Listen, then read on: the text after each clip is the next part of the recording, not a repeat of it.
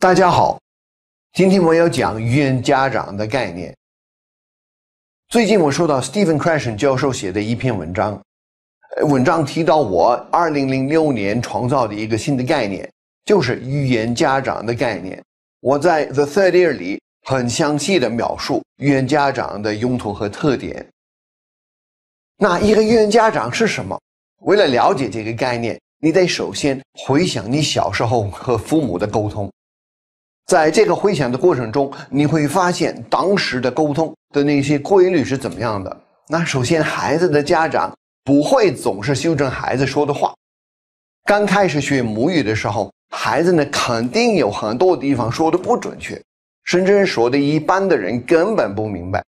好在是家长习惯孩子用语的习惯和方式呢，因此呢，基本知道孩子在沟通什么，所以呢。孩子开口说话能达到沟通的效果，同时呢，孩子都得到正面的反馈和鼓励。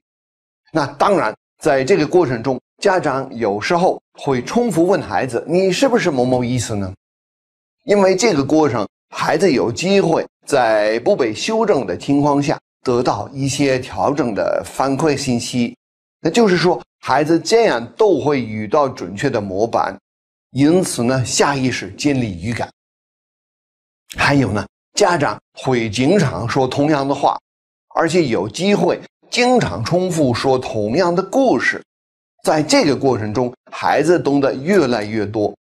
按理论来看，这个现象，家长的这种行为创造一个非常有效的可明白输入的环境，孩子的注意力自然走到沟通的效应，因为这样的。语言就被自然获取。那一个语言家长和孩子的那个家长是一样的，是一个对你个人有兴趣的人，并且他很愿意大量和你沟通。他就是不懂你的老师，老师认为他懂得比你太多，要经常有意识的给你调整。一个语言家长反而不调整你，就是大量和你沟通而已。重复和你讲同样的东西，他也愿意明白你开口说的那些话，哪怕大多数的人听不懂你的那些话。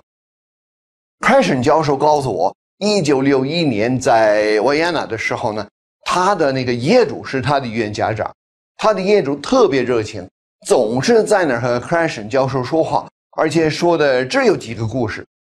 古诗总编，因此呢，Crash 一步一步把德语就学会了。我自己在学中文的时候找到了一个特别好的语言家长，是北京一位画家。我几乎每天在他的家里听他叽叽喳喳说他喜欢、他有兴趣的那些题目。因此呢，我自己很快就掌握了中文的核心。之后呢，有能力和越来越多人进行交流。因为这个道理，你在学英语的过程中，最好想办法也创造一个语言家长的那种条件。首先警告一下，绝对不要找那种想教你的人，一定要找喜欢和你沟通的人，这样才自然满足可明白输入的需要。功夫英语的自学系统也是根据这个明可明白输入的那个规律来设计的，能够满足语言家长。经常说同样的故事的那个条件。另外，我们也提供语言教练，教练的任务是做好语言家长的角色，帮助学习者拥有一个好的可明白输入的环境，因此满足下意识获取英语的基本条件。要记住，可明白输入是学好英语的基本元素之一。语言家长可以帮助你创造一个特别好的可明白输入的环境。祝你英语学习愉快。